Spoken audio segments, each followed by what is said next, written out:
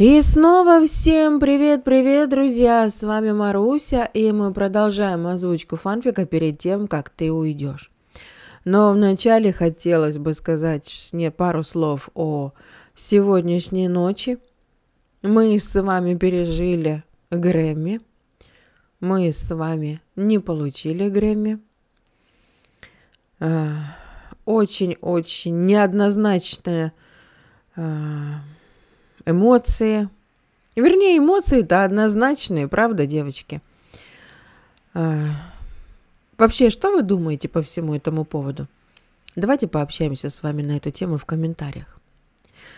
Ну и на этом все. Не будем заострять внимание, движемся дальше. Мы любим наших парней, они самые лучшие на всем этом празднике жизни в кавычках вчерашнем. Наши парни были самыми лучшими и самыми адекватными. Ну а у нас на очереди часть шестая фанфика перед тем, как ты уйдешь. Называется она «Демоны». И поехали. Кстати, если вы до сих пор еще не, не были на моей странице на Бусте, обязательно зайдите, посмотрите, там более 40 фанфиков моей озвучке. И там же мы 17 апреля будем смотреть концерт наших мальчиков. Ну что, поехали. «Нет! Я сказал нет! Я оглядываюсь назад, и знаешь, Чон, что я вижу? Твой болт уже по самые яйца в моей жопе. И ты начинаешь им двигать. Нет и еще раз нет, так не пойдет!» Чонгук сконфуженно кашлянул. «Извините, суперинтендант, за это, но я все же буду настаивать на своем». «На своем он настаивает! Один из наших погиб! Я не буду это скрывать! Ты хоть понимаешь?» Он наклонился ближе к Чону. «Что сейчас здесь проверяющий? Нас же всех нахрен отправят на биржу труда! И мы больше не будем претендовать на должность полицейских! Нет! Дворники — это будет нашей вершиной!» «Нормальная работа», — заметил Юнги, который вместе с напарником находился сейчас в кабинете шефа. «Метешь себе улицы, напиваешь бульторны, и ничего тебе больше не гребет». Я бы даже сказал, что прелестная работенка. Я очень плохо знал детектива Анна, мы с ним никогда по-настоящему даже не общались, поэтому я не могу скорбеть по нему, как по человеку. Чунгук сделал паузу, пытаясь правильно сформулировать свою мысль. Ну, он был опытным детективом и хорошим сослуживцем, и здесь я скорблю вместе с вами. Его бывшая жена сейчас живет в Кёнсане, я связывался с ней. Она дала свое согласие на то, чтобы мы действовали в интересах следствия. «Ты, ты серьезно думаешь, что убийца работает в нашем участке?» Помолчав, уже спокойнее спросил шеф. Он перестал метаться по кабинету и теперь остановился у окна и наблюдал за тем, что происходило на их заднем дворе. А там его копы быстренько, пока мрачно проверяющий Чон Хасок не видел, пытались прикрыть дыру в стене каким-то плакатом. Суперинтендант присмотрелся и даже увидел, что это плакат Риты Хейворд. Он убьет их нахрен. Ну, сто процентов убьет. Сначала вытащит массивный болт Чона Чунгука из своей задницы, а потом пойдет убивать этих придурков. Гук покачал головой. Нет, я так не думаю. Но я боюсь, что его смерть используют против нас до того, как мы завершим расследование, поэтому я очень прошу вас разрешить не объявлять о его гибели». «И как ты себе это представляешь? Нужно будет опросить всех его сослуживцев, напарника, родственников, соседей. И что мы им скажем?» «Ну что, детектив Ан пропал», — быстро сказал Гук, пока шеф не передумал. «И его исчезновение может быть как-то связано с нашими убийствами». «Хм...» — суперинтендант задумался. А Чунгук внутри уже ликовал. Победа была за ним. Пока Чунгук и Юнги отдувались в кабинете шефа, Тэхён достал свой телефон, решив разобраться с тем, что его по-настоящему волновало. «Ви, 12.12. Мне кажется, малыш любит тебя больше, чем меня. Оракул, 12.13. Это тебе только кажется». Он любит нас одинаково. Нельзя же любить больше маму или папу. Ви, 12-16. Ты так думаешь? Оракул, 12-16. Конечно. Тэхён решил не откладывать долгий ящик этот важный и животрепещущий вопрос и сразу же пошел искать Чхве Бамгё. Тот сидел за своим рабочим столом и составлял какой-то отчет. Убедившись, что рядом никого нет, Ким сразу же с места в карьер атаковал его. «Малыш, а скажи мне, кого ты больше любишь, маму или папу?» Бамгю вздохнул, отложив ручку, которая как раз делал какие-то пометки в своем блокноте и поднял голову. Прямо над ним возвышалось заинтересованное лицо его босса. «Ну, вы же знаете, что у меня нет родителей», — спокойно ответил он. «Да, но если бы были», — не унимался Тэхён, — «кого бы ты любил больше?» Бамгю помолчал, задумчиво глядя на Кима. «А вы себя кем считаете, моим папой или мамой?» В конце концов поинтересовался он. «Ну, папой, конечно же». «Тогда маму». Ее нахнул, вот же паршивец. Он вышел из приемной суперинтенданта, кипя от возмущения, на ходу набирая сообщение. «Ви, 12.25. Малыш любит тебя больше. Оракул, 12.25. Веселый смайлик. «Ну не гады, ведь точно же сговорились!» «Ты вечно в телефоне», — недовольно проговорил Чунгук, который как раз вместе с Юнги возвращался от шефа, и увидел Кима в коридоре. «Собирайся, мы выезжаем на место преступления». «Эта история повлияла на меня?» Чон Янсон низко склонил голову. Сконцентрироваться было сложно, и он взял в руки небольшую коробочку с разноцветными мелками и стал нервно ее крутить. Я впервые столкнулся со смертью, да еще и в таком ужасном виде. Конечно, я бы в обморок там грохнулся. Но со мной были племянники, и я не смел их подводить. Я же должен был и быть их опорой и примером для них, ведь так? Юнгей кивнул, но промолчал. В прошлый раз, заканчивая допрос о том, но Мин знал, что его напарник хотел опросить главного свидетеля сам. Чунгук молча сверлил своим взглядом Янсона. Они посетили магазин его родителей, где Янсон подрабатывал, и для того, чтобы спокойно пообщаться с полицией, тот даже повесил на дверь табличку «Закрыто». Видно было, что Янсон всячески хотел им помочь. «А где вы были 31 октября в промежутке с 3 до 5 утра?» Теперь, когда Сакджин предоставил приблизительное время смерти, уже можно было отсеивать подозреваемых с помощью наличия или отсутствия у них алиби. «Это в ту ночь, когда мы с мелкими обнаружили это?» «Точно». Юнги покопался в кармане и нашел леденец, который тут же отправил в рот.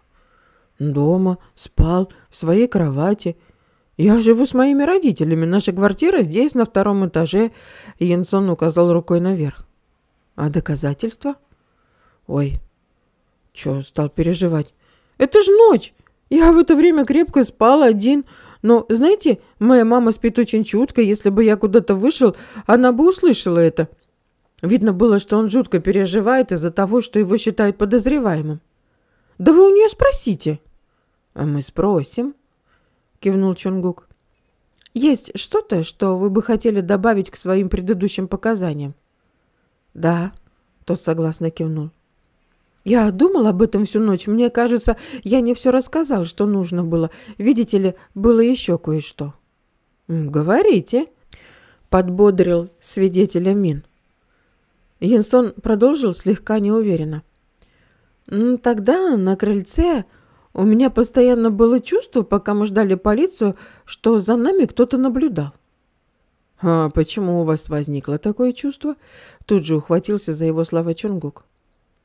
«Я очень чувствителен к таким вещам, и это было не что-то случайное. Кто-то находился рядом с домом и смотрел на нас. Я много думал об этом. Мне кажется... Нет, я уверен, там все время был кто-то». Затем Чунгук показал ему фотографию детектива Анна, но тот только покачал головой, он видел его впервые. Больше ничего нового от Чо Янсона они не узнали. Но пищу для размышления он им все же дал. Тэхён за время беседы не проронил ни слова.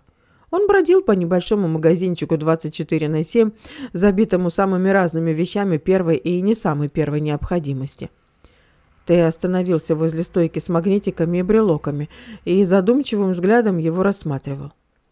Перебирая небольшие брелоки, он выбрал один – металлического медвежонка с крутящимися в разные стороны ручками и ножками. Ким расплатился с Янсоном за брелок и поспешил на улицу следом за вышедшими ранее напарниками. «Давайте перекусим», – проворчал Юнги, указывая на закусочную на противоположной стороне. «Ну и заодно все обсудим».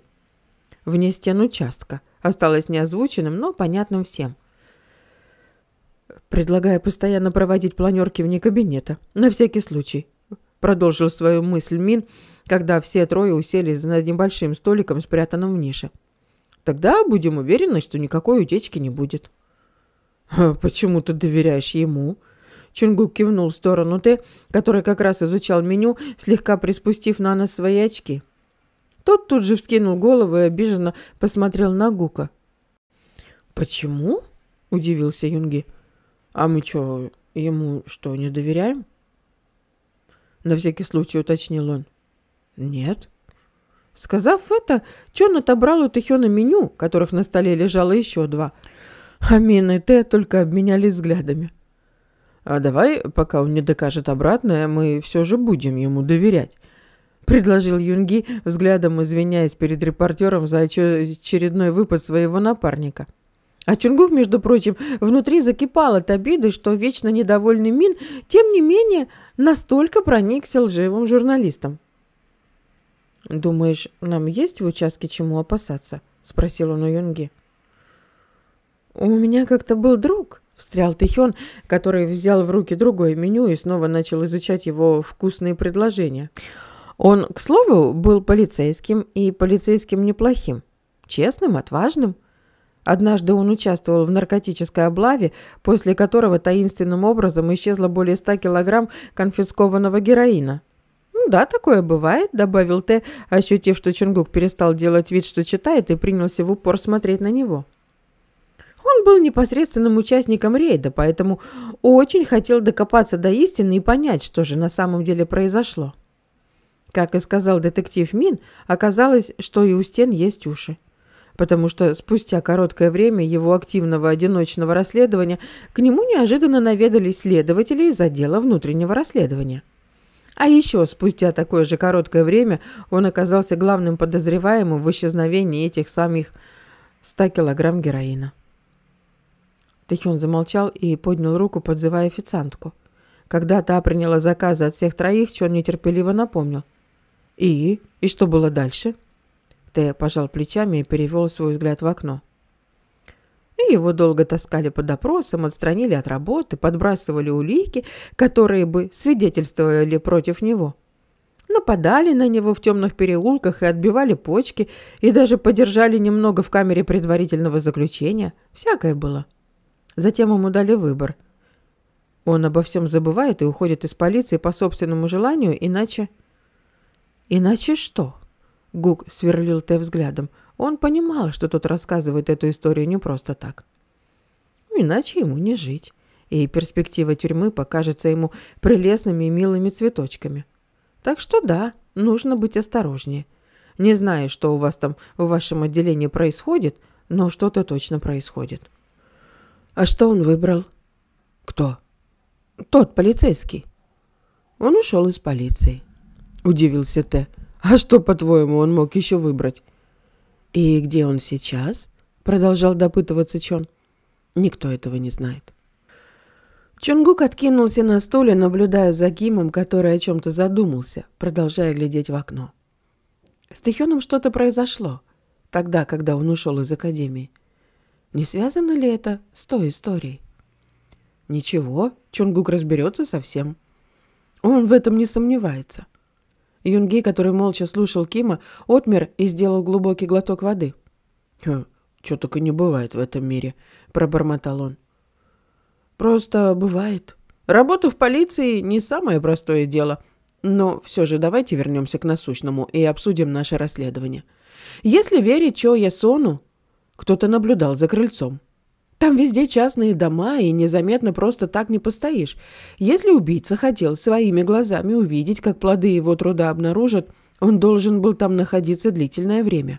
А значит, его бы заметили. Чужак долго бы не потоптался по району. Соседи все всегда видят, даже если и умалчивают об этом. Согласен, детектив Мин. Ченгук продолжал хмуро изучать Кима, но мыслями уже вернулся к их расследованию. Убийца или убийца могли быть либо на машине, либо в одном из домов. Как только придут записи камер, мы уже будем знать, что искать. Насколько вероятно, что убийца живет по соседству с местным обнаружением останков, подключился к разговору Т. Ну, такое может быть, заметил Юнги. Тогда убийца либо тупой, либо смелый, либо наглый, либо все вместе. Ты узнавал у Рубика? поинтересовался у Мина Гук. Рубик – это наш информатор, пояснил Тэхёну Юнги. Да, он говорит, что не слышал, якобы кто-то хвастался тройным убийством. Никаких обрядов посвящения в банды тоже не было, там все глухо. В тихом, семейном, благоустроенном квартале обычно происходят самые страшные вещи, сказал Тэхён, но замолчал, чтобы не пугать официантку, которая как раз принесла их еду страшными историями. У нас есть подробная карта этого района. Чунгук молча включил свой планшет и загрузил карту. Район, где были обнаружены следы тройного убийства, на самом деле был совсем небольшим, огражденным от соседских строений с одной стороны дорогой, с другой парком, с третьей промышленной зоной и с четвертой заброшенным пустырем.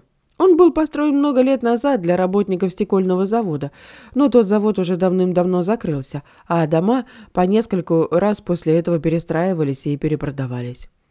15 частных домов. Каков шанс того, что в одном из них живет маньяк-убийца? Юнги, Чонгук и Тэхён уставились на подробную карту, где схематически были изображены все эти 15 домов. «Мне нужна информация о жителях всех этих домов», — в конце концов произнес Чонгук. «Пусть за это возьмется патрульный Юн. Еще нужно будет перелопатить все недавние дела детектива Анна. Он мог что-то где-то заподозрить и поплатиться за это». «Ты переоцениваешь возможности одного человека», — заметил Юнги. «Кюнелю нужна будет подмога». «Ну, значит, пусть барометр подыщет ему кого-нибудь в помощь. Нам нужна еще парочка новичков, чтобы разгребали информацию». «А что шеф скажет?» — засомневался Мин. Шеф согласится. Юнги задумался. «Следует как можно быстрее проработать жителей всех 15 домов и отсеять тех, кто не подходит. А еще нам необходима консультация психиатра», напомнил Тэхён. Он думал, что Чунгук выскажет недовольство от его предположением, но тот сумел его удивить, согласно кивнув. Нам нужен не просто психиатр, а узкий специалист в этой сложной тематике. Я займусь этим, вызвался Т. Возражений ни у кого не было. Эта линия может быть тупиковой, задумчиво сказал Чунгук, когда они быстро поглощали пирог с кремовой начинкой на десерт. Все, кроме Юнги, взяли черный кофе. Минджи заказал огромную чашку капучино и бросил туда несколько ложек сахара. Мы исходим из того, что сказал Чон Ясон. Но нам в любом случае следует проработать всех жителей района. Ну, ни в коем случае не зацикливаться исключительно лишь на этой версии. После короткого обеденного перерыва они решили опросить ближайших соседей и Дживона, и его жены Мисук. Конечно, надеяться, что все будут дома, нельзя было, но все же. Вскоре к ним присоединился патрульный Юн, который закончился своими заданиями. «Мы с детективом Мином возьмем эти дома», — Ченгук указал их на карте. «Патрульный Юн и репортер Ким возьмут эти. Я надеюсь на вас, патрульный Юн, что вы сделаете все как надо». «На меня он, конечно же, не надеется», — в очередной раз внутренне иронично усмехнулся Т. В доме, который находился справа от дома супругов И, Юнги и Чону никто не открыл. «А почему ты поставил двух неопытных вместе?» – негромко спросил Юн, когда они подошли к следующему, который находился чуть дальше по улице. «Ну почему же неопытных?» – удивился Гук. «Один полицейский, который не раз уже делал опросы свидетелей, другой журналист, который, и я в этом не сомневаюсь, должен был за свою карьеру проинтервьюировать сотни людей». Вот и посмотрим, на что эти двое способны и что они могут по факту нам предъявить. А кого ты проверяешь? Патрульного Юна или Кима? Обоих. Хм, да играешься, проворчал Мин. А вдруг они что-то упустят или испортят? Тебе нужно было пойти с репортером. А я бы на себя взял патрульного. Э, это почему это я с репортером? Тут же встал в позу Чон. Да без проблем. В следующий раз с Тэхёном пойду я. Легко согласился Юнги. Ну уж нет, никуда ты с ним не пойдешь. Чунгук был недоволен и таким раскладом вещей. «Ты собака на сене», — негромко сказал Мин и нажал на дверной звонок. Им открыл совсем молоденький паренек, лет семнадцати, не больше. «А родителей нет дома», — сразу же сказал он, как только напарники предъявили ему свои удостоверения. «А мы можем войти?» — спросил Чон. Тот смотрел на них со жгучей смесью любопытства, недоверия и интереса. «Ну, «Я не знаю, ну, хорошо, заходите». Дом был небольшим, внутри было чисто, но ремонт в последний раз здесь делали не один десяток лет назад. Этот район был достаточно благополучным, но эта семья, видимо, разительно выбивалась из общего контингента. «А вы по поводу тех убийств?» — поинтересовался паренек. «Да». Чунгук кивнул, осматриваясь небольшой гостиной. Обстановка была небогатой. «Тебя опрашивал кто-нибудь из полицейских по этому поводу?» Тот отрицательно покачал головой. Как тебя зовут? Консо У. А твоих родителей опрашивали полицейские? Тот только пожал плечами. Чунгук посмотрел свои электронные заметки. Рапорты об опросе жителей этого дома отсутствовали. Су-У, расскажи мне все, что знаешь, попросил Юнги, присаживаясь на предложенное ему продавленное кресло. Су-У призадумался, складывая свои губы уточкой. «Ну, я точно не знаю, что произошло. Мне мама так и не рассказала, но я слышал, что здесь нашли части тела, глаза и голову». Взгляд парня мгновенно загорелся. «И кровь, много крови, и пальцы отрезанные. В школе только об этом и говорят». «Ты видел все сам?» — спросил Чонгук, медленно обходя гостиную по четвертому кругу и внимательно при этом осматриваясь. «Нет, я был в школе, вернулся, когда уже все закончилось, поэтому и говорю, что ничего своими глазами не видел», а можешь сказать, где ты был 31 октября с 3 до 5 утра? Глаза Со-У снова зажглись. А, я типа подозреваемый? Ну, типа да, подтвердил Юнги. Ух ты, спал, конечно. Обычно я зависаю в телефоне часов до двух, но как только его выключаю, сразу же вырубаюсь. Встаю в 6.30, в школе нужно быть к восьми, так что я спал. А тебе знаком этот человек? Чунгук показал Со-У фотографию детектива Анна. Тот покачал головой. «Нет, впервые его вижу». Как только Гук и Юнги вышли за дверь, Мин тут же сказал. Он сразу же узнал детектива. «Ага», — Гук задумался. «Тогда почему скрыл это?» Нужно будет проверить, не фигурировал ли Кан Со У в каких-то делах детектива Анна. Патрульный Юн и Тэхён остановились перед дверью соседей супругов И, дом которых находился слева. Им открыла молодая женщина по возрасту где-то ближе к 30. Увидев перед своей дверью человека в форме, она тут же занервничала. «Чем я могу вам помочь?» — говорила она негромко, кутаясь в большую теплую кофту. «Мы опрашиваем всех соседей по поводу случившегося два дня назад», — тут же ответил Кюниль, доставая свой небольшой черный блокнот. «Мы можем войти?» «Нет», — быстро ответила она. «В дом заходить нельзя». Хозяйка дома поправила волосы так, чтобы они еще больше спадали на ее лицо. Но Кюнель и Те сразу же заметили у нее большой синяк возле виска. «Нам необходимо взять у вас показания», — как можно мягче сказал патрульный. «Извините, но с чужими разговаривать нельзя. Я не знаю, кто вы. А удостоверение можно и подделать. Здесь и так убийства произошли. Пожалуйста, приходите, когда мой муж будет дома». Она быстро закрыла дверь, а Кюнель захлопнул свой блокнот. Некоторое время Тэхён и патрульный Юн молчали. В конце концов Кюнель нарушил молчание. «Нам придется прийти сюда еще раз, когда дома будет ее муж». «А ты заметил, она ни разу не сказала слово «я». «Но два раза произнесла «нельзя», — сказал Т. «Давайте проверим следующий дом». Через два часа все четверо встретились снова. Они обошли все пятнадцать домой, но информации насобирали не густо. «Что-то узнали?» — спросил Чонгук. «Не так много», — ответил Кюнель. «Патрульный Юн, напишите подобный рапорт и отправьте мне его на почту. Я сейчас уезжаю, так что сегодня мы уже не увидимся. Планерка завтра в восемь, всем быть обязательно». «А ты куда?» — удивился Мин, поворачиваясь к Чону. Напарник детектива Анна сейчас на переаттестации в Сеуле. Я договорился встретиться с ним сегодня вечером. Хочу лично с ним пообщаться. Вы с репортером Кимом возвращаетесь в участок вместе с патрульным юном. Я быстро сказал Т. Хочу обстоятельно поработать над своей статьей, так что сегодня в участок я тоже не вернусь. Чингук смерил его подозрительным взглядом, но ничего не сказал. Попрощавшись, он сел в свою машину и уехал. Вскоре уехали и Юнги с Кюнали. Только Тэхён остался один. Он достал из кармана телефон и набрал сообщение. Ви, 1721. Мун Чонсхоль и Мун Йоджон. Оракул, 1726. Женаты 4 года. Он работает в автопрокате, она домохозяйка. Оу, за последний год четыре обращения. В больницу. Она обращалась.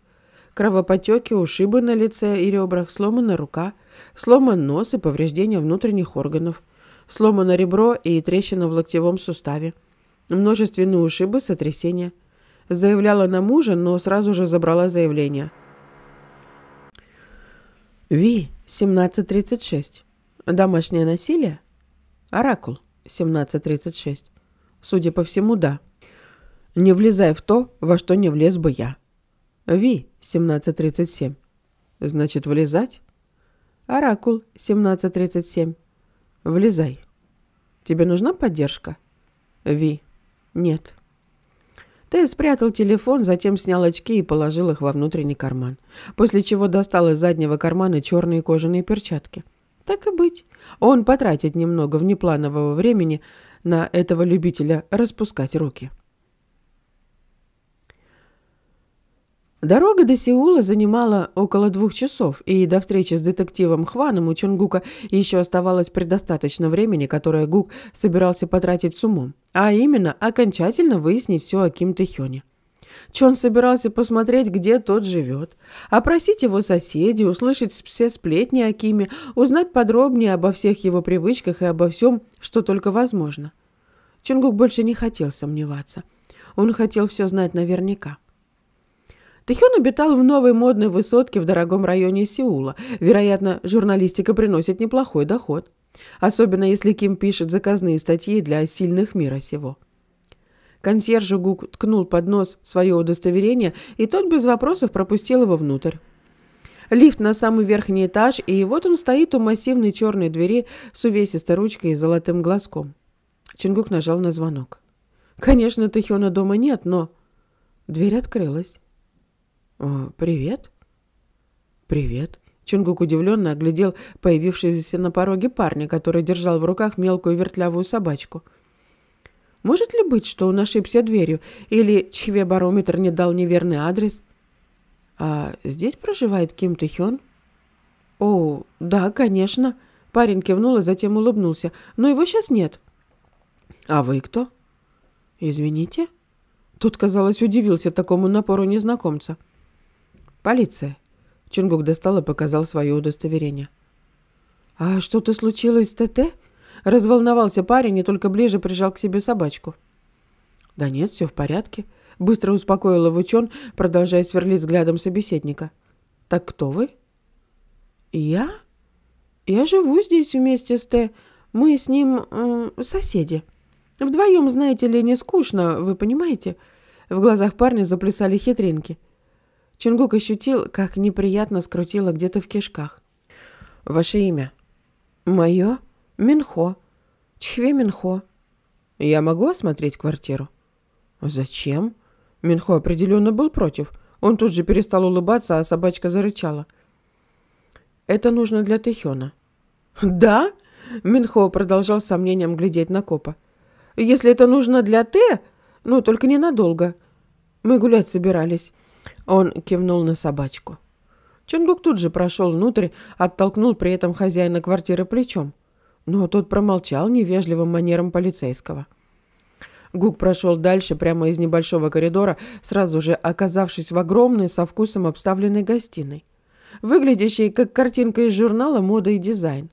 Большой белый кожаный диван – Огромная плазма на стене, мягкий белоснежный ковер на полу, зеркальная панель барного шкафа с рядом сверкающих бокалов, висящих на плетеной подставке над баром. Но вот что сразу привлекло внимание Чона, так это портрет Тэхёна во весь рост, украшающий одну из стен. Чунгук так и застыл, глядя на гламурного, великолепного, изящного и сексуального Кима. Роскошный, чужой. Что-то сломалось в нем, пока он смотрел в эти красивые безразличные глаза. «Еще что-то?» — между тем спросил Минхо, все так же держащий собачку и внимательно наблюдающий за Чоном. «Нет, спасибо». Гук развернулся и направился к двери. Уже на пороге, не оборачиваясь, бросил «До свидания» и быстро вышел. Он спустился вниз и смог нормально выдохнуть только в своей машине. Вот и все. Он хотел узнать правду, он ее узнал. Ким Тэхён больше не тот Тэхён, которого он когда-то давно знал в академии. Неизвестно, почему он решил бросить учебу, но все в жизни у него сложилось. У него высокооплачиваемая работа, шикарная внешность, дорогая квартира и крутой бойфренд. И собачка. Как же об этом-то забыть? Глубоко в душе Чонгук всегда хотел верить, что Тэхён исчез не просто так, что его отобрали на какую-то жутко секретную миссию или он был куда-то завербован. Поэтому все и почистили, будто Кима никогда и не было в его жизни. Чон злился, что, выбирая между миссией и им, Чонгуком, Тэ тогда выбрал не его. Но все же держался за эту иллюзию, что у Тэхёна не было выхода и нужно было в срочном порядке принимать решение – Поэтому сейчас, когда Ким снова появился в его жизни, Чонгук отчаянно хотел доказать себе это. Что Тэхён на какой-то секретной службе. Тогда можно было бы продолжать верить, что оставил он его не по собственному желанию. Но все оказалось куда прозаичнее. Тэхён его просто бросил. И живет своей красивой люксовой жизнью. Он закончит свое дело в их городе и преспокойненько уедет своему модному бойфренду и статусной собачке – Чонгук снова, даже втихаря от самого себя, позволил себе поверить в такие сладкие и такие болезненные иллюзии. Но это только ему все еще было больно. Только ему. И на сегодня это все, друзья мои. Вот такая получилась глава. Ну, естественно, Чонгук будет переживать. Естественно, Чонгуку будет больно, когда, понимаешь, когда ты любил этого человека, да, и понимаешь, что он тебя просто бросил, конечно, это очень больно. Но я думаю, что не все так просто. Продолжение следует. А с вами была Маруся. Совсем скоро встретимся. И пока-пока.